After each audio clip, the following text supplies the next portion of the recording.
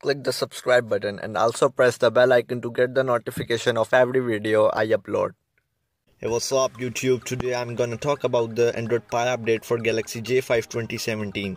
So let's watch. And friends, before starting the video, subscribe my channel for more tech videos and PUBG Mobile latest hacks. So friends, first of all, I want to also clarify that this video is also for Galaxy J5 Pro users because these devices are also sold as Galaxy J5 Pro in many regions. So friends, come to the topic, the Android Pie is not available yet for this device. But the good news is that the confirmed date for that update is announced by Samsung Turkey. So now the Android Pie will hit the Galaxy J5 5 Pro on 4th of September. This has been confirmed by a website of Samsung Turkey.